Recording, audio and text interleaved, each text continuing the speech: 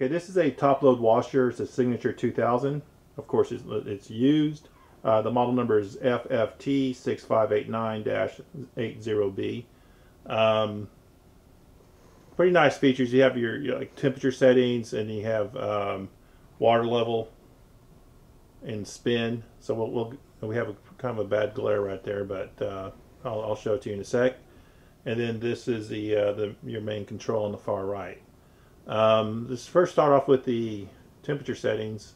Uh, we have five buttons, and uh, the each button stands for a certain wash and rinse temperature. So the far button on the left says cold cold, and the next button to that is going to say warm cold, and you have hot cold, warm warm, and you have hot warm. So you have a hot wash warm rinse. So we're going to select warm warm that that fill up the fastest. Most machines don't have any of the warm rinses anymore. Um, I think Speed Queen's their top of the line top load washer has a warm rinse. Um, so let's go ahead and leave it warm warm. And then the next button on here is this is the water level. So you have uh, it ranges from uh, low, it's an infinite switch. You can click it all the way to high.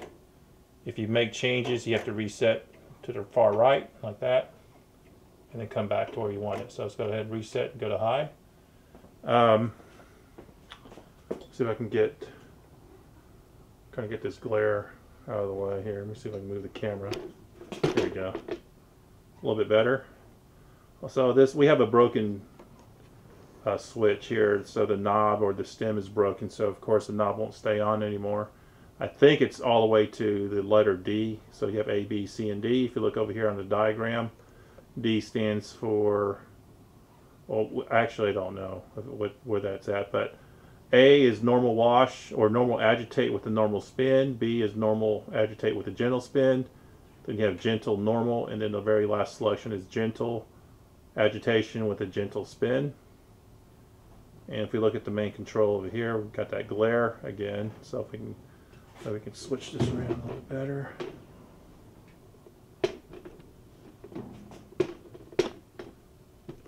Uh, it's not too good. That's about the best we're going to get. Um, let's look at the timer.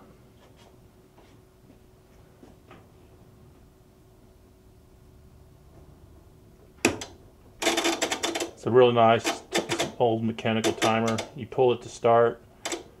So if we do a extra rinse. It's going to be around the 12 o'clock position. Set for 18. 18 probably stands for um, agitation time.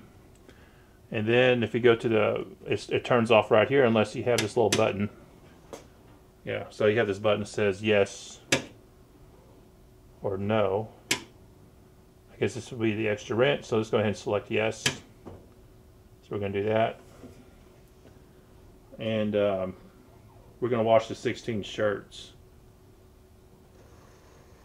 Well, before we do that, let's take a look at the uh, the inside of this wash machine.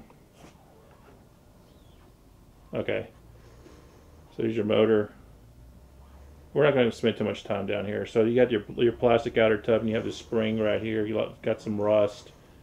Um, it is belt driven, and it has a um, I guess on top of the I'm not sure where the pump is. Let me see if I can get down there and take a look where the pump is. I guess the pump is on top of the motor. You can see your hose right there.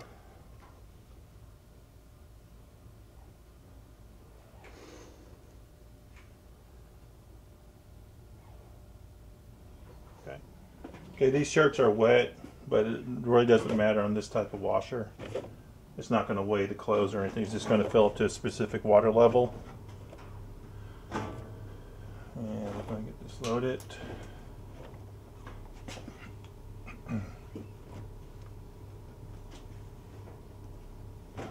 Still haven't purchased any soap yet, so no no suds. Sorry about that, Bruce.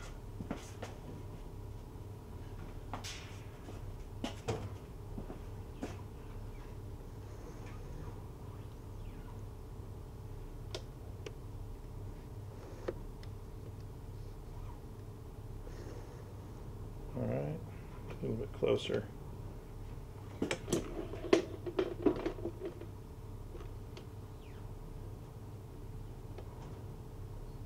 All right, so let's look at this knob thing.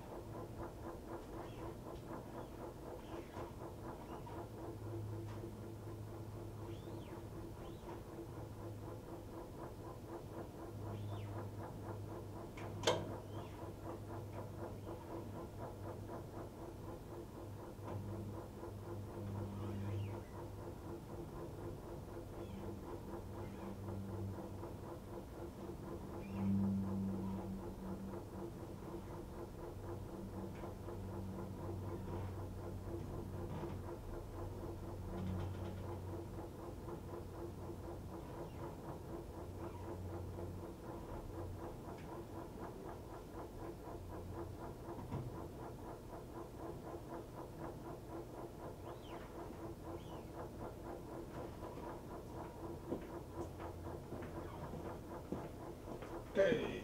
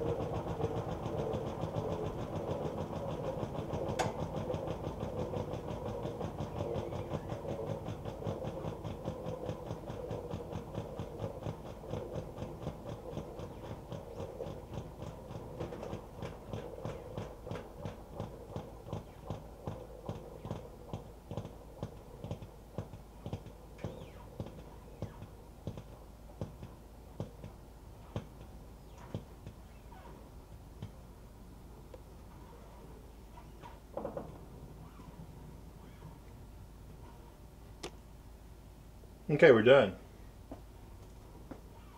Um,